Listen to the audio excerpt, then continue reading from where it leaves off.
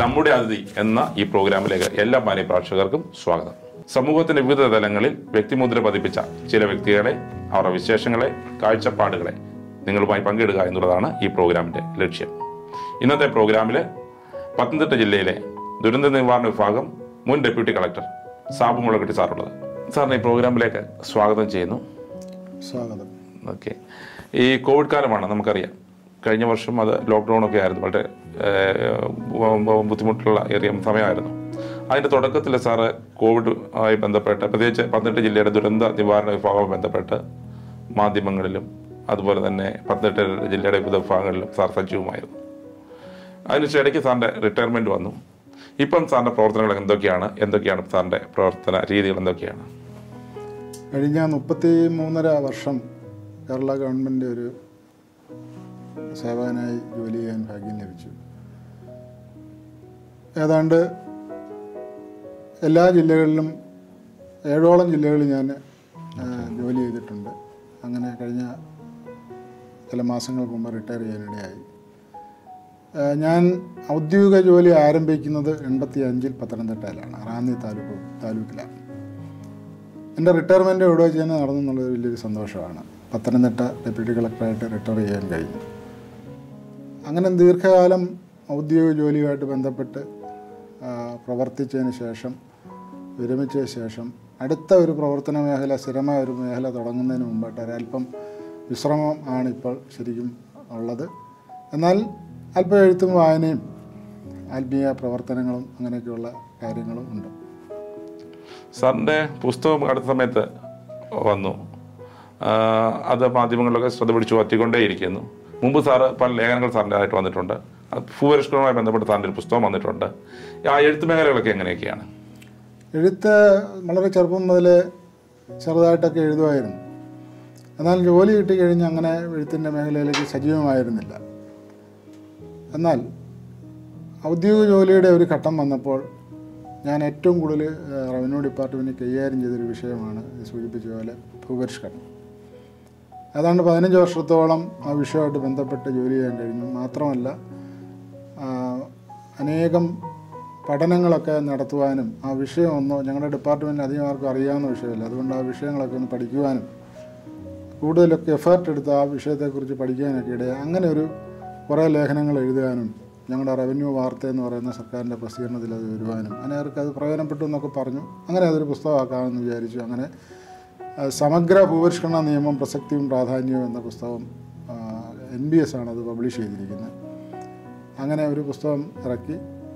അതിനുശേഷം അൽമീ രംഗത്തും കുറച്ച് എഴുത്തുകളൊക്കെ ഉണ്ടായിരുന്നു. ഗുഡ് ന്യൂസ് ക്രൈസ്തവ ചിന്ത അല്ലെങ്കിൽ ഞങ്ങളുടെ ചർച്ചിലെ ജീവോത്സവം ന്യൂസ് അങ്ങനെ ക്രൈസ്തവ ബോധി അങ്ങനെയുള്ള മാസികകളിലൊക്കെ ലേഖനങ്ങളൊക്കെ എഴുതിയിട്ടുണ്ട്. സൺഡേ സ്കൂളിന്റെ പ്രവർത്തനമായിട്ടിരിക്കുന്ന കാലത്താണ് സാറിന്റെ ഈ ബുക്ക് ഇപ്പം ഭയങ്കര. പോപ്പുലർ ആയിക്കൊണ്ടിരിക്കുകയാണ്. ദൈവത്തെക്കാൾ ബഹുമാനിക്കപ്പെടുന്ന മക്കൾ. ആ സൺഡേ സ്കൂളിന്റെ ചുമതലയിൽ ഹെഡ് മാസ്റ്ററായിട്ട് കുറച്ച് കാലം ഇരിക്കാൻ അഞ്ച് വർഷം ഇരിക്കാനിടയായിട്ടുണ്ട് അക്കാലത്ത് കുട്ടികളെയും കുട്ടികളെ മാത്രമല്ല കുട്ടികളുടെ മേൽ മാതാപിതാക്കൾക്കുള്ള അമിത ഉത്കണ്ഠ. അവരിൽ അമിതമായിട്ട് അടിച്ചേൽപ്പിക്കുന്ന ഒരു മത്സര മനോഭാവം. ആ മനോഭാവത്തെയും അതുപോലെ തന്നെ കുട്ടികൾക്ക് എന്തൊക്കെയാണ് അല്ലെങ്കിൽ യുവാക്കൾക്ക് എന്തൊക്കെയാണ് ഏത് മേഖലയിലാണ് അവർ കൂടുതൽ കടന്നു വരേണ്ടത് അല്ലെങ്കിൽ ഓരോ മേഖലയിൽ അവരെങ്ങനെ പ്രവർത്തിക്കണം? അങ്ങനെയൊക്കെ ചില അഭിപ്രായങ്ങളും ഒക്കെ ചേർത്ത് പല ലേഖനങ്ങളും എഴുതി പല പ്രസിദ്ധീകരണങ്ങൾ പ്രസിദ്ധീകരിച്ചിട്ടുണ്ട്. പ്രസിദ്ധീകരിക്കാത്ത ലേഖനങ്ങളും ഉണ്ട്. അപ്പോൾ അതെല്ലാം കൂടെ കൂട്ടി ഒരു പുസ്തകമാക്കിയാൽ പ്രയോജനപ്പെടുമല്ലോ എന്നുള്ള അതിലാണ് അങ്ങനെ ഒരു പുസ്തകം എഴുതാനിടയായത്. ദൈവത്തേക്കാൾ ബഹുമാനിക്കപ്പെടുന്ന മക്കൾ. ഇതിന്റെ ടൈറ്റിലിന് തന്നെ പലരും ഇങ്ങനെ ഇതെന്താണ് ഇങ്ങനെ ഒരു പേര്? ഇതിന് എന്താണ് ദൈവത്തേക്കാൾ ബഹുമാനിക്കുന്ന കൊടുക്കുന്ന മക്കളുണ്ടോ എന്നൊക്കെ അല്ലെങ്കിൽ ചെറിയ രീതിയിലുള്ള വിമർശനങ്ങളോ അല്ലെങ്കിൽ അഭിപ്രായങ്ങളൊക്കെ ഇങ്ങനെ വരുന്നുണ്ട്. എന്നാൽ ഈ പേരിനെ സംബന്ധിച്ചിടത്തോളം ഇത് വേദോത്സവത്തിൽ തന്നെയുള്ള പേരാണ്. ഒന്ന് ഷമുവേൽ രണ്ടിന്റെ ഇരുപത്തി ഒൻപതിൽ എലി പുരോഹിതന്റെ മക്കളെക്കുറിച്ച് ദൈവം പറയുന്നു നീ നിന്റെ മക്കളെ എന്നേക്കാൾ ബഹുമാനം കൊടുക്കുന്ന എന്തൊരു വാക്യം ഉണ്ട്. ആ വാക്യം തന്നെ ഞാൻ എടുത്തതേ ഉള്ളൂ. കാരണം അമിത മത്സരം കൊണ്ട് ദൈവത്തിന് രണ്ടാം സ്ഥാനം കൊടുക്കുന്നു. അല്ലെ? ദൈവിക കാര്യങ്ങൾക്ക് ആത്മീയ കാര്യങ്ങൾക്ക്. കുട്ടികളുടെ കൃത്യമായിട്ട് സൺഡേ സ്കൂളിനും അല്ലെങ്കിൽ ആത്മീയ കാര്യങ്ങളിൽ നിന്ന് പുറകോട്ട് വിടാൻ മാതാപിതാക്കൾ പലപ്പോഴും കാരണമാകുന്നുണ്ട് എല്ലാവരും ആണെന്നല്ല ഞാൻ പറഞ്ഞത്. അപ്പോൾ അതിനെ സംബന്ധിച്ചൊരു ലേഖനം എഴുതിയതാണ്. കുട്ടിനെ അത് വളരെ പ്രാധാന്യത്തോടെ പ്രസിദ്ധീകരിച്ചു. അപ്പം അത് ആ ഒരു ലേഖനത്തിന്റെ തലക്കെട്ടാണ് ഈ പുസ്തകത്തിന് കൊടുത്തിരിക്കുന്നത്. ദൈവത്തെക്കാൾ ബഹുമാനിക്കപ്പെടുന്ന മക്കളെ. ഇപ്പൊ ഈ പറഞ്ഞു വന്നത് ഈ മക്കളെ കുറിച്ചുള്ള മാതാപിതാക്കളുടെ ഉത്കണ്ഠ. അതെ. അതുപോലെ തന്നെയുള്ള സാർ സജീവമായിട്ട് സൺഡേ സ്കൂളുമായി ബന്ധപ്പെട്ട് കുട്ടികളുമായിട്ട് ഒത്തിരി അടുപ്പം പുലർത്തുന്ന വ്യക്തിയാണ്. അപ്പോൾ ഇവിടുന്ന് ഞാൻ കുറച്ച് ബാക്കിലേക്ക് പോവാം. സാറിന്റെ ഒരു കുട്ടിക്കാലം എങ്ങനെയായിരുന്നു? ഇതുപോലെ ആയിരുന്നു എങ്ങനെയായിരുന്നുള്ള. അതെ. അതുകൊണ്ട് തന്നെയാണ് ഞാൻ പറഞ്ഞത് ഈ എന്റെ കുട്ടിക്കാലം അങ്ങനെ അല്ലായിരുന്നു അല്ലെങ്കിൽ ഇന്നുള്ള രീതി അല്ലായിരുന്നു. ഞങ്ങളെ സൺഡേ സ്കൂളിന് വിടുക എന്നുള്ളത് ഞങ്ങളുടെ മാതാവിന്റെ വലിയൊരു താല്പര്യമായിരുന്നു. താല്പര്യം മാത്രമല്ല അതൊരു ചിട്ടയായിരുന്നു. ഞങ്ങളെ കൃത്യമായിട്ട് സൺഡേ സ്കൂളിൽ വിടും. അത് കുട്ടികൾ വലിയ കൂടുതലുള്ള വലിയ സൺഡേ സ്കൂളാണോ അധ്യാപകരുടെ യോഗ്യത അങ്ങനെയൊന്നുമല്ല. ചിലപ്പോൾ ഒരു ക്ലാസ് പല ക്ലാസ്സിലും ഒരു അധ്യാപകനെ കാണുന്നുണ്ട്. വലിയ വിദ്യാഭ്യാസമൊന്നും ഇല്ലെങ്കിലും അവർ ആത്മീയമായിട്ട് വിദ്യാഭ്യാസം ഉള്ളവരാണ് സൺഡേ സ്കൂളിൽ പഠിപ്പിക്കാൻ കൃപയുള്ളവരാണ്. അപ്പം അധ്യാപകരെയോ സൺഡേ സ്കൂളിന്റെ വലിപ്പമൊന്നും നോക്കാതെ കൃത്യമായിട്ട് സൺഡേ സ്കൂളിനെ അയക്കുക. സൺഡേ സ്കൂൾ മാത്രമല്ല സഭയുടെ എന്ത് കാര്യമുണ്ടെങ്കിലും യൂത്ത് ക്യാമ്പുകൾ അതുപോലുള്ള കാര്യങ്ങൾക്കെല്ലാം വളരെ ഉത്സാഹത്തോടെ ഞങ്ങളെ വിടുമായിരുന്നു. അതുപോലെ തന്നെ നമ്മുടെ ചർച്ചിലെ യോഗങ്ങൾക്കും ഒക്കെ സാറിന്റെ കുട്ടിക്കാലം എവിടെയായിരുന്നു? എവിടെ? പേരൻസ് എങ്ങനെയായിരുന്നു? എന്റെ വീട് ചങ്ങനാശ്ശേരി താലൂക്കിൽപ്പെട്ട പായ്പാടാണ്. ആത്മീയമായിട്ട് ഞങ്ങളെ മുൻപന്തിയിലേക്ക് വിടുന്ന മാതാ മാതാ ഞങ്ങളുടെ മാതാവായിരുന്നു. എന്റെ പിതാവ് എന്റെ വളരെ ചെറുപ്പത്തിലെ മരിച്ചു പോയതാണ് എനിക്ക് ഏതാണ്ട് പത്ത് വയസ്സുള്ളപ്പോഴാണ് എന്റെ പിതാവ് മരിക്കുന്നത്. ഞങ്ങൾ അഞ്ച് മക്കളാണ്. എന്റെ ഏറ്റവും ഇളയ സഹോദരിക്ക് അന്ന് മൂന്ന് മാസമേ പ്രായമുണ്ടായിരുന്നു അപ്പം അപ്പോൾ അങ്ങനെ വലിയൊരു കഷ്ടതയുടെ ഒരു പിതാവ് ഒരു കെ എസ് ആർ ടി സിയിൽ ഉദ്യോഗസ്ഥനായിരുന്നു. മാതാവിന് ആ ജോലി കിട്ടിയെങ്കിലും ഞങ്ങൾ അഞ്ചുപേരുടെ വിദ്യാഭ്യാസം അങ്ങനെയൊക്കെയുള്ള കാര്യങ്ങളൊക്കെ വളരെ ബുദ്ധിമുട്ടിലൂടെയൊക്കെയാണ് കടന്നു പോയത് എങ്കിലും ഞങ്ങൾ ആരും നഷ്ടപ്പെട്ടു പോകാതെ ഇതിനകത്ത് നിൽക്കുവാൻ കൃപ നൽകിയത് ഞങ്ങളുടെ ആത്മീയത്തിൽ ഞങ്ങളെ പിടിച്ചു നിർത്തി ഇത് ആത്മീയം തന്നെയാണ് സാർ കുട്ടിക്കാലത്ത് ഈ സർക്കാർ ജോലിയോട് താല്പര്യം ഉണ്ടായിരുന്നു? എങ്ങനെയായിരുന്നു എന്റെ ഒരു തുടക്കം സർക്കാർ ജോലിയോട് താല്പര്യം ഉണ്ടായിരുന്നു. കാരണം പറഞ്ഞു പേരൻസ് സർക്കാർ റിലേറ്റഡ് ആയിരുന്നു പറഞ്ഞു. പിതാവിന് ജോലി ഉണ്ടായിരുന്നു മാത്രമല്ല ഒരു ജോലി ലഭിക്കണമെന്നുള്ള എന്നുള്ളപ്പം ആ പിതാവിന്റെ വേർപാടിന് ശേഷം ഞാൻ പ്രശസ്തമായ എസ് പി കോളേജിൽ അഡ്മിഷൻ കിട്ടി. എന്നാൽ ചില കാരണങ്ങൾ കൊണ്ട് അത് അവിടെ രണ്ടാം വർഷം പൂർത്തിയാക്കാതെ ഒക്കെ ഇരുന്ന ഒരു സാഹചര്യമുണ്ട്. പിന്നീട് എന്നാൽ ഒരു സർക്കാർ ജോലി വേണം എന്നുള്ളൊരു താല്പര്യത്തോടു കൂടി ഇരുന്നു. അങ്ങനെ സർക്കാർ ജോലിക്ക് വേണ്ടി വലിയൊരു ശ്രമം നടത്തി. എന്നാൽ വലിയ വിദ്യാഭ്യാസം ഇല്ലാതെ ബിരുദമോ അങ്ങനെയുള്ള ഒന്നുമില്ലാതെ നമ്മൾ ഈ ജോലിക്ക് ശ്രമിക്കുന്ന കണ്ടൊക്കെ ആളുകളൊക്കെ പരിഹസിക്കുകയും ചെയ്തു. എന്നാൽ നമ്മൾ അതൊന്നും തളർന്നില്ല. സ്വകാര്യമോ സർക്കാരോ? എന്തെങ്കിലും ഒരു ജോലി ഒരു ചുറ്റുപാടിൽ അങ്ങനെ വേണമായിരുന്നു. എന്നാൽ ജോലി ലഭിക്കാനുള്ള കാരണം ആത്മീയമായിട്ട് പറയുകയാണെങ്കിൽ അത് വലിയ ദൈവകൃപയാണ്. അല്ലാതെ അതിനകത്ത് ഭൗതികമായിട്ട് ചില കാരണങ്ങളുണ്ട്. വായന എന്ന് പറയുന്ന കാര്യം ചെറുപ്പം മുതലേ തുടങ്ങിയതാണ്. എന്റെ വളരെ ചെറുപ്പം ഓർമ്മ വെച്ച കാലം മുതൽ വായിക്കും ഇങ്ങനെ അറിയാവുന്ന പോലെയൊക്കെ വായിക്കുമായിരുന്നു. പിന്നീട് സ്കൂൾ ലെവലും കോളേജ് ലെവലൊക്കെ വന്നപ്പോഴത്തേനും ആ വായന ഒന്നുകൂടെ വിപുലീകരിച്ച് ദിനപത്രം പത്രങ്ങൾ പല ലൈബ്രറി പോയി പല പത്രങ്ങൾ വായിക്കുക അതുപോലെ ഒരു നല്ലൊരു വായനാശീലം വളർത്തിയെടുത്ത്. അങ്ങനെ ഒരു വായനാശീലം വളർത്തിയെടുത്തത് കൊണ്ടാണ് പരീക്ഷകളൊക്കെ നന്നായിട്ട് അപ്പിയർ ചെയ്യാനൊക്കെ കഴിഞ്ഞത്.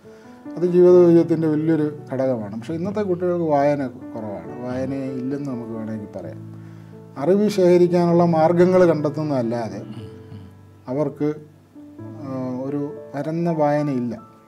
അപ്പം വായനയും അറിവ് സമ്പാദിക്കാനുള്ള മാർഗങ്ങളും വായനയും രണ്ടും വ്യത്യസ്തമാണ്. ഈ ബന്ധുക്കുസ സൊസൈറ്റിയാണ് ആക്ച്വലി നമ്മുടെ വ്യൂവേഴ്സിലൊരു നല്ല ശതമാനം. അപ്പം അതിനകത്ത് കൂടുതൽ ആളുകൾ വിദേശ രാജ്യങ്ങളിൽ പോകാൻ വേണ്ടി താല്പര്യപ്പെടുകയൊക്കെ ചെയ്യുന്നതാണ്. എന്നെങ്കിലും ഈ ജോലിയുടെ ഒരു സർക്കാർ ജോലി സാറിന്റെ നീണ്ട ഒരു എക്സ്പീരിയൻസ് ഉണ്ട്. ആഗ്രഹിക്കുന്ന സർക്കാർ ജോലി ആഗ്രഹിക്കുന്ന ആളുകൾക്ക് വേണ്ടി ചില ഉപദേശങ്ങളോ എന്തെങ്കിലും സാറിന് പറയാൻ പറ്റുമോ? സർക്കാർ ജോലി നമ്മുടെ കേരള ഗവൺമെന്റോ അല്ലെങ്കിൽ കേന്ദ്ര ഗവൺമെന്റോ കീഴിൽ ഒരു എന്നുള്ളത് നമ്മുടെ പ്രാതിനിധ്യം വളരെ കുറവാണ്. ബന്ധുക്കസുകാരുടെ പ്രാതിനിധ്യം വളരെ കുറവാണ്. അപ്പോൾ ഒരു നല്ല പ്രാതിനിധ്യം ഉണ്ടാകണമെന്നുള്ളതാണ്. ആ പ്രാതിനിധ്യം കൊണ്ട് പല ഗുണങ്ങളുമുണ്ട്. ഒന്നാമത്തെ കാര്യം വീണ്ട വേർപെട്ടവരുടെ ഒരു അല്ലെങ്കിൽ വീണ്ടെടുക്കപ്പെട്ട ഒരു ദൈവ വൈതൽ ഒരു എന്നുള്ള നിലയിൽ നമ്മളൊരു ഒരു സ്ഥാപനത്തിൽ അല്ലെങ്കിൽ ഒരു ഓഫീസിൽ ജോലി ചെയ്യുമ്പം അതൊരു അനുഗ്രഹമാണ്. അത് മറ്റുള്ളവർക്ക് നമുക്ക് അനേകരെ സഹായിക്കാൻ കഴിയും. അല്ലെങ്കിൽ നമ്മുടെ സാന്നിധ്യം കൊണ്ടൊരു നല്ലൊരു അന്തരീക്ഷം ഉണ്ടാകാൻ കഴിയും.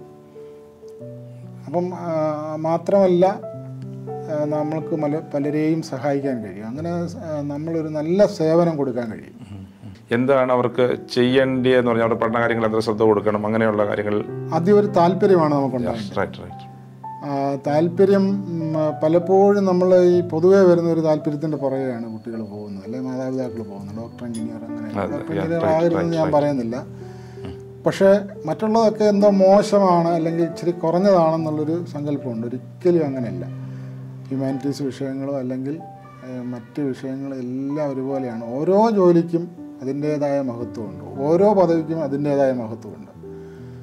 അപ്പോൾ ഒന്നും നമ്മൾ ഇപ്പോൾ ഡോക്ടർ ആകുന്നത് പോലെ തന്നെയാണ് ഒരു ജുഡീഷ്യൽ ഓഫീസർ ആകുക എന്നുള്ളത്. നമ്മുടെ പ്രാതിനിധ്യം സീറോ ആയ ഒരു രംഗമാണ് ജുഡീഷ്യൽ ഒന്നോ രണ്ടോ പേരൊക്കെ ഉള്ളൂ ജുഡീഷ്യൽ രംഗം. മജിസ്ട്രേറ്റ് മുതൽ ഹൈക്കോടതി ജഡ്ജി വരെ. ഹൈക്കോടതി നമ്മുടെ ജഡ്ജിമാർ ആരുമില്ല അപ്പോൾ അങ്ങനെയൊക്കെയുള്ള മേഖലയിലേക്ക് കടന്നു വരണം. ചർച്ച കാര്യങ്ങൾ എന്തെങ്കിലും സഭ കമ്മ്യൂണിറ്റി കമ്മ്യൂണിറ്റി അതിനൊരു താല്പര്യം ഇപ്പോൾ കൊടുക്കുന്നില്ല എന്നുള്ളതാണ് ഞാൻ കണ്ടുവരുന്നത്. എന്ത് ചെയ്യാൻ പറ്റും നമുക്ക് തീർച്ചയായിട്ടും ബന്ധക്കോസ് നേതാക്കളും സഭാ നേതാക്കളും ഒന്ന് ആലോചിച്ചിട്ട് എല്ലാ സാമുദായിക സംഘടനകളും അല്ലെങ്കിൽ എല്ലാവർക്കും ഇപ്പം ഒരു കാലത്ത് നമുക്ക് ഈ പി എസ് സി കോച്ചിങ് സെന്ററുകൾ പോലെ അങ്ങനെയൊക്കെ സ്റ്റാർട്ട് ചെയ്യാൻ. ഒരു കാലത്ത് പിന്നെ സ്റ്റേറ്റിന്റെ അല്ലെ നമ്മുടെ സ്റ്റേറ്റിന്റെ ഒരു ആവശ്യമായിരുന്നു സിവിൽ സർവീസ് അതുപോലുള്ള ഉയർന്ന തരത്തിലേക്ക് കുട്ടികളെ കൊണ്ട്. പിന്നീട് അത് മാറിയിട്ട് ഓരോ സമുദായങ്ങളും ഏറ്റെടുത്തു. ഇപ്പോൾ ഓരോ സമുദായങ്ങൾക്കും ബി സിവിൽ സർവീസ് കോച്ചിങ് രംഗമുണ്ട് അതുപോലെ തന്നെ എന്തൊക്കെ സമൂഹത്തിനും പ്രാതിനിധ്യമില്ലാത്തത് കൊണ്ട് നമ്മുടെ സമൂഹത്തിനും ഒരു പിന്നെ പൊതുവായിട്ടൊരു കോച്ചിങ് സെന്ററോ അല്ലെ കോച്ചിങ് കൊടുക്കാനുള്ള സംവിധാനം സാർ പറഞ്ഞ- വളരെ കറക്റ്റ് കാരണം വിരലിലുണ്ടാവുന്ന ഒന്നോ രണ്ടോ പേരൊക്കെ ഉള്ളൂ പെന്തക്കോസ് കമ്മ്യൂണിറ്റി ഐ എസ് രംഗത്ത്. അപ്പോൾ ആ രംഗത്തും പ്രത്യേകം ശ്രദ്ധ സഭാ നേതാക്കന്മാരെ യൂത്ത് അങ്ങനെയുള്ളവർ ശ്രദ്ധ ചെലുത്തേണ്ടിയാണ്. പക്ഷെ അത് ഏത് രീതിയിൽ കൈകാര്യം ചെയ്യുന്നതാണ് എന്റെ ഒരു. അതിന് നമ്മൾ ഒരു പെന്തക്കോസ് ഒരു ഐക്യനിര ഉണ്ടാകണം ഐക്യനിര വളരെ ശക്തമാണ് ഇന്നത്തെ ഒരു ഐക്യനിരയുടെ ഒരു യോജിപ്പില്ലാത്തൊരു അവസ്ഥയുണ്ട്. അത് പോരാ. ഒരു ശക്തമായ സി ബി സി ഐ പോലുള്ള ഒരു ശക്തമായ ഒരു ഒരു സംഘടനയുടെ കീഴിൽ ഒരു നല്ല കോച്ചിങ് സെന്ററൊക്കെ ഉണ്ടാക്കി ഞാൻ ഇച്ചിരി കടന്നു ചോദിക്കുന്നുണ്ട് തോന്നുന്നു. കാരണം ഈ നിത്യതയെക്കുറിച്ചും സ്വർഗത്തെക്കുറിച്ചും മാത്രം പഠിപ്പിക്കുന്ന ചർച്ചകളാണ് വരുന്നത്. ഈ ലോകത്തിൽ നന്നായിട്ട് ജീവിക്കുക എന്നുള്ളതും ഇതുപോലുള്ള ആവശ്യങ്ങളുണ്ടെന്നുള്ളതും കുറച്ചുകൂടെ സമൂഹം ശ്രദ്ധ കൊടുക്കേണ്ട വിഷയമല്ലേ തീർച്ചയായിട്ടും നമ്മൾ ആത്മീയ കാര്യത്തിന് നമ്മൾ ഒന്നാം സ്ഥാനം കൊടുക്കുന്നു. നമുക്ക് നിത്യതയെക്കുറിച്ച് നമുക്ക് വ്യക്തമായ കാഴ്ചപ്പാടുണ്ട്. അതൊക്കെ ശരി തന്നെയാണെങ്കിലും ഭൗതിക ഈ ലോകത്ത് ജീവിക്കും ഭൗതികമായിട്ട് നമ്മൾ ഭൗതിക ജീവിതത്തിൽ കൂടെ തന്നെ കടന്നു പോകേണ്ടി വരാം. അപ്പോൾ ഭൗതിക ജീവിതത്തിലുള്ള നമുക്ക് ആകാവുന്ന മേഖലകളിലൊക്കെ നമ്മൾക്ക് ചെല്ലണം. ഇപ്പോൾ നമുക്ക് സിവിൽ സർവീസ് അല്ലെങ്കിൽ പൊതു സർവീസ് ഔദ്യോഗിക രംഗങ്ങളിലൊക്കെ നമുക്ക് വിലക്കില്ല. അവിടെയൊക്കെ നമുക്ക് നല്ല പ്രാതിനിധ്യം ഉണ്ടാകണം. ഞാൻ നേരത്തെ സൂചിപ്പിച്ചതുപോലെ നമ്മളുടെ പ്രാതിനിധ്യം കൊണ്ട് ഗുണമുണ്ടാകും. അനേകർക്ക് പ്രയോജനപ്പെടും. പ്രയോജനപ്പെടണം. സാർ പറഞ്ഞു വരുന്നത് ഇതാണ്. സഭകൾക്കുള്ളിലും ഇതിങ്ങനെയുള്ള കാര്യം ഐ എസ് പോലെയുള്ള ഗവൺമെന്റ് സെക്ടേഴ്സിലുള്ള ആളുകളെ അതിനുള്ളിൽ തന്നെ നമ്മൾ പ്രോത്സാഹിപ്പിക്കുകയും അത് പഠിപ്പിക്കാൻ പാസ്റ്റർമാർ ഉൾപ്പെടെയുള്ള വിഭാഗം അവരെ അതിനുവേണ്ടി പ്രേരിപ്പിക്കുകയും ചെയ്യണം. അവർ മാതാപിതാക്കളെ പ്രോത്സാഹിപ്പിക്കണം. നമ്മുടെ യുവജന സംഘടനകളുണ്ട്. പൊതുവായിട്ടുള്ള ബന്ധക്കോസ് ഐക്യ യുവജന സംഘടനകളുണ്ട്. അവരൊക്കെ അതിനൊരു മുൻകൈ എടുക്കണം പി എസ് സി കോച്ചിങ് സെന്ററൊക്കെ തുടങ്ങാൻ. യെസ് അല്ലെങ്കിൽ നമ്മുടെ ആദ്യം വേണ്ടത് ഒരു ശരിയായ ഒരു ബോധവൽക്കരണമാണ്. എല്ലാവരും ഈ പിന്നെ ഔദ്യോഗിക രംഗത്തേക്ക് കടന്നു വരാനുള്ളൊരു താല്പര്യം ഉണ്ടാകത്തക്ക രീതിയിലുള്ളൊരു അങ്ങനെ ഔദ്യോഗിക രംഗത്തേക്ക് കടന്നു വന്നു കഴിഞ്ഞാൽ ഭാവിയിൽ ഇപ്പം ഞങ്ങളൊക്കെ പ്രൊമോഷൻ കിട്ടി സ്ഥാനങ്ങളിലൊക്കെ എത്തിയവരാണ് അപ്പം അത് പ്രൊമോഷൻ കൂടെ അല്ലാതെ തന്നെ ഇപ്പം വളരെ വലിയൊരു സർവീസാണ് കേരള അഡ്മിനിസ്ട്രേറ്റീവ് സർവീസ് എന്ന് പറയുന്നത്. നമ്മുടെ ശ്രമിച്ചാൽ കയറിക്കൂടാൻ പറ്റുന്നതാണ്. പക്ഷേ നല്ല ശ്രമം വേണം. അതിന് ആദ്യമായിട്ട് സഭയും സഭയുടെ യൂത്ത് യൂണിയും അല്ലെങ്കിൽ നമ്മുടെ ബന്ധക്കോസ് സഹിക്കുക സഭകളുടെ യൂത്ത് അതിനൊരു താല്പര്യം അവരിൽ ഉണ്ടാക്കണം. എന്നിട്ടുള്ള സൗകര്യങ്ങൾ കഴിയുന്ന സൗകര്യങ്ങളൊക്കെ ചെയ്തു കൊടുക്കണം. അങ്ങനെ ഔദ്യോഗിക രംഗത്തേക്കൊക്കെ അവരെ കൊണ്ടുവരാൻ കഴിയും. ഓക്കെ. അപ്പം ഈ ഇന്നത്തെ ഇതൊരു ഇലക്ഷൻ കാലം കൂടെ എസ്പെഷ്യലി നമുക്കറിയാം ഈ രാഷ്ട്രീയക്കാർ ഒത്തിരി കാര്യങ്ങൾ ഇടപെടുകയൊക്കെ ചെയ്യുന്നുണ്ട്. ആക്ച്വലി ഇപ്പം എന്തൊക്കെ ഈ രാഷ്ട്രീയം പറ്റിയതാണ്? എന്താ സാധനം തോന്നുന്നത് എന്താ രാഷ്ട്രീയ മേഖലയിൽ ഞാൻ സൂചിപ്പിച്ച പോലെ ബന്ധക്കോസ്തുകാർ എല്ലാ രംഗങ്ങളിലും വേണം. നമ്മൾ ഭൗതിക ജീവിതം നയിക്കുമ്പോൾ ഭൗതികമായിട്ടുള്ള കാര്യങ്ങളിലൊക്കെ നമ്മൾ ബന്ധപ്പെടുന്ന ബന്ധപ്പെടേണ്ടി വരും. യോഗ്യമല്ലാത്ത കക്ഷി രാഷ്ട്രീയം നമുക്ക് പാടില്ല. എന്നാൽ രാഷ്ട്ര നിർമ്മാണത്തിൽ നമ്മൾ പങ്കാളികളാകുന്നതുകൊണ്ട് കുഴപ്പമില്ല. എന്ന് പറഞ്ഞാൽ നമ്മൾ ഔദ്യോഗിക തലങ്ങളിലെ പോലെ തന്നെ ജനപ്രതിനിധിയാകുന്നതിനും വിലക്കില്ല. പക്ഷേ എവിടെയും നമ്മൾ ഇപ്പോൾ ഔദ്യോഗിക തലത്തിലാണെങ്കിലും മറ്റ് ഏത് മേഖലയിലാണെങ്കിലും നമ്മുടെ ആത്മീയ ജീവിതത്തിന് കോട്ടം വരാതെ ആകണമെന്നുള്ളതേ ഉള്ളൂ. അപ്പോൾ അതിനകത്ത് ഇപ്പം ചില ആശയങ്ങളുമായിട്ട് ബന്ധപ്പെട്ട് ചില പാർട്ടികളിൽ പൂർണ അംഗത്വം എടുക്കുമ്പോൾ നമ്മുടെ നമ്മളുമായിട്ട് നമ്മുടെ വിശ്വാസ പ്രമുഖങ്ങളുമായിട്ട് യോജിച്ചു പോകാൻ കഴിയാതെ വരും. അപ്പോൾ അങ്ങനെയുള്ളപ്പോൾ ആ പാർട്ടിയിൽ അംഗമാകാതെ തന്നെ സ്വതന്ത്ര നിലപാടെടുത്തുകൊണ്ട് അങ്ങനെ ഉണ്ടല്ലോ. അങ്ങനെ പോ കഴിയാവുന്നതാണ്. നമ്മൾ പാർട്ടിയിൽ പൂർണ മെമ്പർഷിപ്പ് എടുത്ത് പോകുമ്പോൾ അതിന്റെതായ രീതിയിൽ നമ്മൾ അല്ല അത് സെന്റ് ജോൺ സാർ പറയുന്നതിന്റെ ഒരു രത്ന ചുരുക്കം ദാനിയലിന്റെ ഒരു കാഴ്ചപ്പാടാണ് എനിക്ക് തോന്നുന്നത്. കാരണം ദാനിയലിനെ സംബന്ധിച്ചിടത്തോളം വേറൊരു രാജ്യത്തിന്റെ വലിയ സ്ഥാനത്തെത്തി. പക്ഷേ അപ്പോഴും അദ്ദേഹത്തിന്റെ ജീവിതത്തിന്റെ വിശുദ്ധിക്ക് ഓട്ടം വരുന്നതിലൊന്നും അദ്ദേഹം ശ്രദ്ധ കൊടുത്തില്ല അല്ലേ ബൈബിൾ അതെ അത് തന്നെ. ആ ഒരു ദൃഢനിശ്ചയം തന്നെയാണ് നമുക്കുണ്ടാകേണ്ടത് നമ്മൾ ഏത് സാഹചര്യത്തിൽ ചെന്നാലും നമ്മൾക്കൊരു നമുക്കൊരു പൊതുവായ കാഴ്ചപ്പാടുണ്ട്. അല്ലെങ്കിൽ നമ്മുടെ വിശ്വാസ പ്രമാണങ്ങൾ അനുസരിച്ച് നമ്മൾ എന്ത് ചെയ്യണം എന്ത് ചെയ്യരുതെന്നുണ്ട്. അപ്പോൾ ഏത് ഔദ്യോഗിക മേഖലയിലാണെങ്കിലും അല്ലെങ്കിൽ രാഷ്ട്രീയ മേഖലയിലാണെങ്കിലും നമ്മുടെ വിശ്വാസത്തിന് കോട്ടം വരാതെ ചെയ്യുന്നതുകൊണ്ട് കുഴപ്പം ഇല്ല. അത് അവരവരാണ് തീരുമാനിക്കേണ്ടത്. എന്നാൽ ഈ യോഗ്യമല്ലാത്ത ചില കക്ഷി രാഷ്ട്രീയം പൂർണമായിട്ടും ഒരു നമുക്ക് യോഗ്യമല്ലാത്ത രീതിയിലുള്ള പ്രവർത്തനങ്ങളിലേക്ക് പോകുന്നൊരു ഒരു നിലപാട് ഒരിക്കലും നമുക്ക് കഴിയില്ല. അപ്പം അങ്ങനെയുള്ളതെന്ന് ഒഴിഞ്ഞു നിൽക്കണമെന്ന് ആണ് ഞാൻ പറയുന്നത്. കാരണം നമ്മൾ ബന്ധക്കോസുകാരനായി പോയതുകൊണ്ട് പഞ്ചായത്ത് മെമ്പറാകരുത് അല്ലെങ്കിൽ മറ്റ്. അപ്പം നമുക്ക് പഞ്ചായത്ത് മേഖലയെ മാത്രം അല്ലെങ്കിൽ തദ്ദേശ സ്വയംഭരണ സ്ഥാപനങ്ങളിൽ മാത്രമല്ല നമുക്ക് നമുക്ക് നിയമസഭകളിലും പാർലമെന്റിലും ഒന്നും നമ്മുടെ പ്രാതിനിധ്യം വളരെ ഒന്നുമില്ല ഇപ്പോൾ ശൂന്യമാണ്. അപ്പോൾ അവിടെയൊക്കെ നമ്മുടെ ശബ്ദം നമ്മൾ ഒരു വലിയ സമൂഹമാണ്. ആ സമൂഹമായിട്ട് നമ്മൾ നിൽക്കുമ്പോൾ നമുക്ക് പ്രശ്നങ്ങളുണ്ട്. അപ്പോൾ ആ പ്രശ്നങ്ങൾ നമ്മൾ ഭരണതലത്തിൽ എത്തിക്കാൻ കഴിയണം. അപ്പോൾ അതിന് കക്ഷി രാഷ്ട്രീയത്തിന് അതീതമായിട്ടുള്ളൊരു നമുക്ക് അവിടെ അംഗമാകാനുള്ളൊരു സംവിധാനങ്ങളൊക്കെ ഉണ്ടാകണമെന്ന് തന്നെയാണ് അഭിപ്രായം. അത് പിന്നെ യോഗ്യമല്ലാത്ത ഒരു രാഷ്ട്രീയ നിലപാടിൽ പോയി നമ്മുടെ വിശ്വാസത്തിന് കോട്ടം വരുന്ന രീതിയിൽ പോകരുതെന്ന് മാത്രമേ ഉള്ളൂ. അല്ലാതെ നമുക്ക് നിഷിദ്ധമൊന്നുമല്ല. സാറിന് എനിക്കൊന്ന് മുപ്പതിലേറെ വർഷം മുപ്പത്തിമൂന്നോളം വർഷം സർക്കാർ സർവീസിലായിരുന്നു. ആ കഴിഞ്ഞ കാലത്തേക്ക് സാർ തിരിഞ്ഞു നോക്കുമ്പോൾ പെട്ടെന്ന് എന്താ സാറിന് സംതൃപ്തി തോന്നുന്നത്? എന്ത് തോന്നുന്നു? മുപ്പത്തിമൂന്ന് വർഷം ഞാൻ എനിക്ക് വളരെ ചെറുപ്പം മുതലേ റവന്യൂ വകുപ്പ് തിരഞ്ഞെടുക്കാൻ തന്നെ കാര്യമാണ് ഞാൻ പറഞ്ഞല്ലോ മുനിസിപ്പാലിറ്റിയൊക്കെ ഞാൻ റവന്യൂ വകുപ്പ്. മറ്റുള്ളവർക്ക് സഹായം ചെയ്യണം. എന്നുള്ളൊരു ചിന്ത ഉണ്ടായിരുന്നു അപ്പം മുപ്പത്തിമൂന്ന് വർഷത്തെ സേവനവും കഴിയുന്ന സഹായം പൊതുസമൂഹത്തിന് ചെയ്തിട്ടുണ്ട്. ഔദ്യോഗികമായിട്ട് എന്റെ സമയം മുഴുവൻ ഞാൻ ഗവൺമെന്റിന് കൊടുത്തു എന്നുള്ളതാണ്. വേറെ അല്ല അങ്ങനെ കൊടുക്കണമെന്നാണ് നിയമം. നമ്മൾ ഗവൺമെന്റ് സർവന്റ് ആകുമ്പോൾ എങ്കിലും ആ രംഗത്ത് നീതി പുലർത്തിയെന്ന് ഞാൻ പറഞ്ഞതിന്റെ അർത്ഥം. സർക്കാർ ഒരു സർവന്റ്. ഇന്ന് സർവന്റ് എന്നല്ല ഇന്ന് ഇന്ന് നമ്മൾ സർക്കാർ ഉദ്യോഗസ്ഥനായി കഴിഞ്ഞാൽ സാറാണ് എല്ലാവരും. ആ മനോഭാവം മാറ്റണമെന്നാണ് എന്റെ അഭിപ്രായം. നമ്മളെല്ലാം സേവകരാണ് ഗവൺമെന്റ് സെർവന്റ് എന്നാണ് പറയുന്നത്. ഗവൺമെന്റിനെ സേവിക്കാൻ ഉള്ളവരാണ് നമ്മൾ സേവകന്മാരാണ്. ഞാൻ റിട്ടയർ ചെയ്തിട്ട് ഇങ്ങനെ പറയുകയല്ല. ഞാൻ അങ്ങനെയാണ് ഇരുന്നിട്ടുള്ളത്. ഒരുപാട് സഹായങ്ങൾ അല്ലെങ്കിൽ നല്ല പെരുമാറ്റം കൊടുക്കാനും ഒക്കെ കഴിഞ്ഞിട്ടുണ്ട്.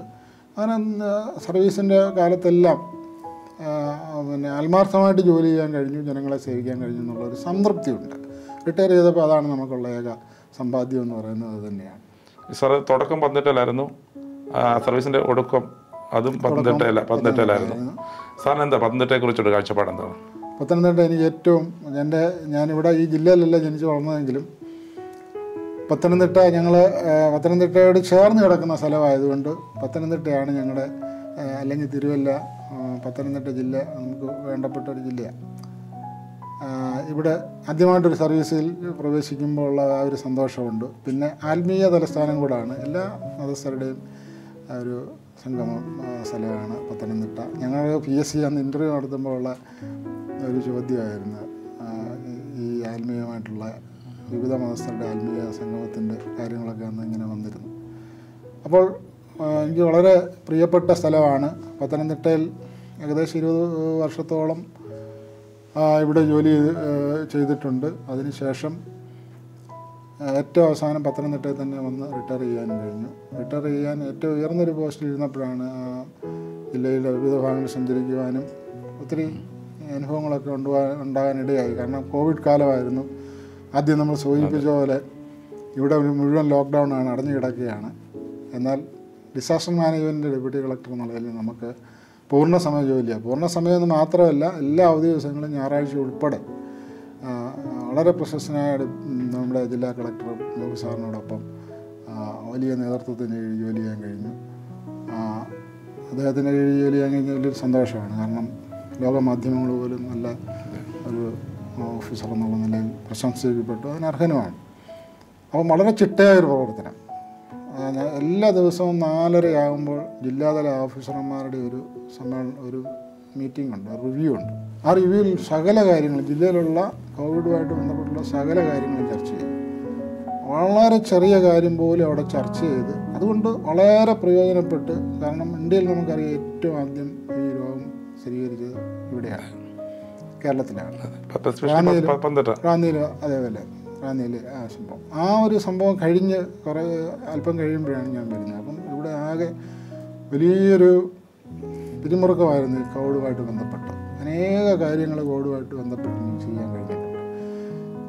അതായത് കോവിഡ് കെയർ സെന്ററുകൾ തുടങ്ങുന്നതിന് ഉള്ള ഇത് കണ്ടെത്തുക ഫസ്റ്റ് ലൈൻ ട്രീറ്റ്മെന്റ് സെന്റർ അങ്ങനെ നിരവധി കാര്യങ്ങൾ കളക്ടറോടൊപ്പം നിന്ന് ചെയ്യാൻ കഴിഞ്ഞിട്ടുണ്ട്.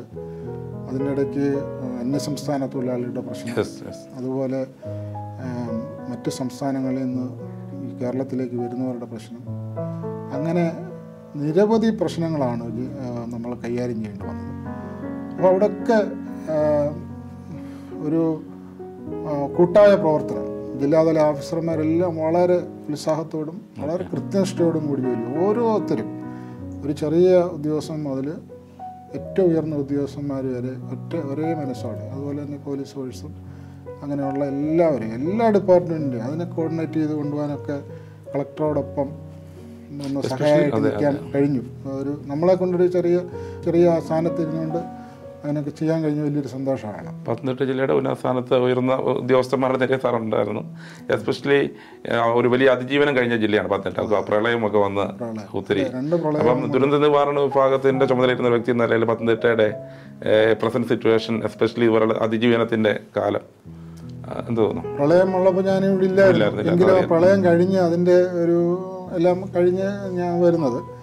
എങ്കിലും ഈ കോവിഡിന്റെ ഈ കാര്യങ്ങളുമായിട്ട് വളരെ തിരക്കായിട്ട് ബന്ധപ്പെട്ടിരിക്കുമ്പോൾ തന്നെ കളക്ടർ പ്രളയം വരുന്നു. അതുകൊണ്ട് അതിന് നമ്മുടെ സന്നദ്ധ സേനയെക്കുറിച്ച് കുട്ടികളുണ്ട് അവരെ നിയോഗിച്ച് അവിടെ പഠനങ്ങൾ നടത്താൻ പോയി. ആ കൂട്ടത്തിൽ ഞാനും പോയി. രാവിലെ വെളുപ്പിന് അവിടെ വടശ്ശേരിക്കരയൊക്കെ പോയി. ഞാൻ പറഞ്ഞു ഞാനിവിടെ പോവാം. അങ്ങനെ അവരുമായിട്ട് പോയി ഇതൊക്കെ പഠനം നടത്തുവാനും. കാരണം അടുത്ത പ്രളയം വരുന്നതിനെ നേരിടാൻ വേണ്ടിയുള്ള സജ്ജീകരണം അതുപോലെ തന്നെ മത്സ്യത്തൊഴിലാളികളുടെ അവിടെ നിന്ന് എല്ലാം വളരെ മുമ്പേ തന്നെ അതിനുള്ള സംവിധാനങ്ങളൊക്കെ സാറ് ഏർപ്പെടുത്തിയിരുന്നു. അപ്പോൾ അതിനൊക്കെ ബന്ധപ്പെടാനൊക്കെ കഴിഞ്ഞിട്ടുണ്ട്.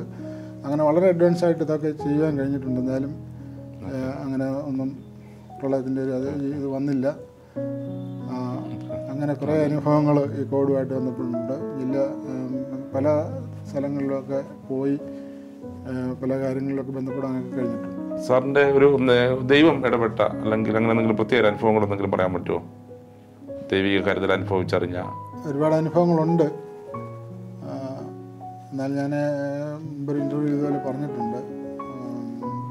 നമുക്ക് ദൈവം നമുക്കൊരു വാഗ്ദത്വം തന്നിട്ടുണ്ടെങ്കിൽ തീർച്ചയായിട്ടും അത് നടപ്പാകും. എന്തൊക്കെ പ്രതിസന്ധികൾ വന്നാലും ദൈവം നമ്മളിൽ ഒരു തന്നിട്ടുണ്ട് നമ്മളെ നമുക്ക് വേണ്ടി ഒന്ന് കരുതിയിട്ടുണ്ടെങ്കിൽ അത് ആര് തടസ്സപ്പെടുത്തിയാലും അല്ലെങ്കിൽ എന്തൊക്കെ പ്രതിസന്ധികൾ വന്നാലും നമ്മുടെ ദൃഷ്ടിയിൽ നടക്കുകയായിരുന്നു നമ്മൾ തോന്നിയാലും തക്ക സമയമാകുമ്പോൾ നടക്കും. എന്റെ ഇത്രയും നാളത്തെ അനുഭവം കൊണ്ട് ഞാൻ പഠിച്ചൊരു പാഠം അതാണ്. കാരണം അത് പലപ്പോഴും നമ്മൾ അവിശ്വസനീയമെന്ന് തോന്നും. പക്ഷേ ആ വാഗ്ദത്വം എന്താണ് നമ്മുടെ കയ്യിലുള്ള നിറവേറുക തന്നെ ചെയ്യും.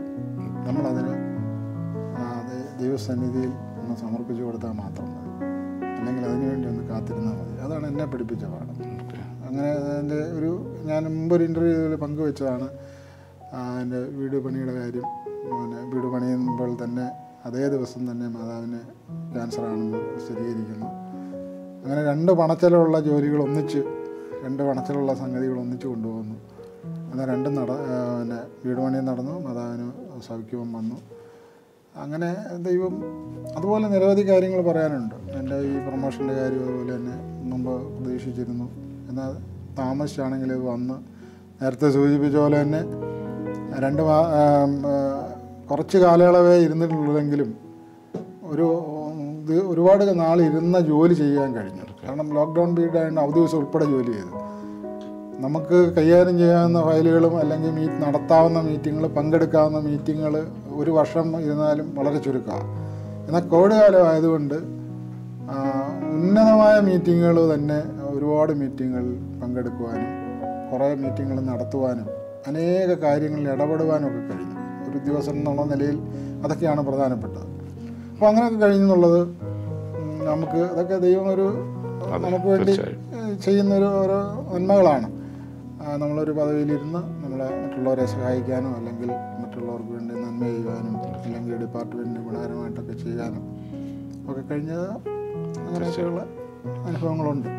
സാറിന്റെ കുടുംബത്തെക്കുറിച്ച് കുറിച്ച് വൈഫ് മക്കൾ വൈഫ് ഷീബ എന്ന് പറയാം തിരുവനന്തപുരം സ്വദേശിയാണ്. നീലഗിരി മേരിഗിരി ഹയർ സെക്കൻഡറി സ്കൂളിൽ ടീച്ചറായിട്ട് വർക്ക് ചെയ്യുന്നു.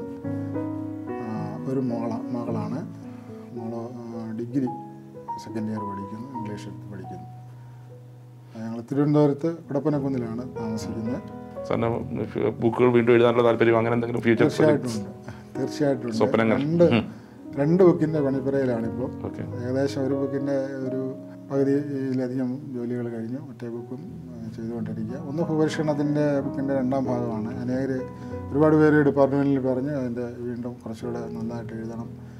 അപ്പോൾ പുതിയ വിഷയങ്ങൾ വെച്ച് എഴുതണം എന്നൊക്കെ പറഞ്ഞു അങ്ങനെ അത്. പിന്നെ ബന്ധക്കോസിനെ സംബന്ധിച്ച് ആത്മീയ തലത്തിലൊരു പുസ്തകം കൂടെ ഇപ്പം ഇറക്കാനായിട്ട് ഉദ്ദേശിക്കുന്നുണ്ട്. എഴുത്തും വായനയുമായിട്ടാണ് ഇപ്പോൾ കൂടുതൽ സമയം ചിലവാകുന്നത്. ഇനിയും ദൈവഹിതം അനുസരിച്ച് പുതിയ മേഖലകളിലേക്ക് ജോലിയാണെങ്കിൽ ജോലി അല്ലെങ്കിൽ എന്തായാലും സമയത്തിന്റെ ഒരു ഭാഗം ഒരു നല്ല ഭാഗം ആത്മീയ കാര്യങ്ങൾക്ക് വേണ്ടി നീക്കി വെക്കാനുള്ളൊരു തീരുമാനം റിട്ടയർ ചെയ്തപ്പോഴേ ഉണ്ടായിരുന്നു. കാരണം നമ്മൾ ദീർഘകാലം ഗവൺമെന്റിന് വേണ്ടി ഒക്കെ നിന്നെങ്കിലും നമ്മൾ റിട്ടയർ ചെയ്ത് കഴിയുമ്പോൾ ആത്മീയ കാര്യങ്ങൾക്ക് കുറച്ച് സമയം കൊടുക്കണമെന്നാണ് എന്റെ അഭിപ്രായം. ഈ ലോകത്തിന്റെ സർക്കാരിന് വേണ്ടിയും അതുപോലെ തന്നെ ദൈവനാമത്വത്തിന് വേണ്ടിയും പ്രവർത്തിക്കാൻ കഴിഞ്ഞു എന്നുള്ളൊരു വലിയ ഭാഗ്യപദവി തന്നെയാണ്. സാറിന്റെ ഫ്യൂച്ചർ പ്രൊജക്റ്റുകൾക്ക് എല്ലാവിധമായ നന്മകളും എല്ലാവിധമായ ആശംസകളും നേരെയാണ് ഇത്രത്തോളം സമയം നമുക്കൂടി ചെലവഴിച്ചതിന് ചാനലിനോട് ചെലവഴിച്ചതിന് പ്രത്യേകം നന്ദി അറിയിക്കുന്നു. താങ്ക് ഇന്നത്തെ എപ്പിസോഡ് നിങ്ങൾക്ക് ഇഷ്ടപ്പെട്ടു എന്ന് ഞങ്ങൾ കരുതുന്നു. സാബു മുൾക്കൊടി സാറിന്റെ ജീവിതത്തിലെ വിശേഷങ്ങൾ കാഴ്ചപ്പാടുകൾ ഇതാണ് നമ്മൾ ഇതുവരെ കേട്ടുകൊണ്ടേയിരുന്നത്.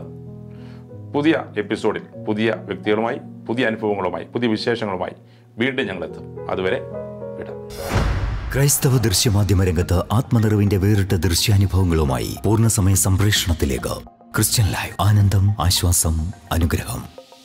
അവർ Facebook page middle east Christian youth ministries subscribe Christian live W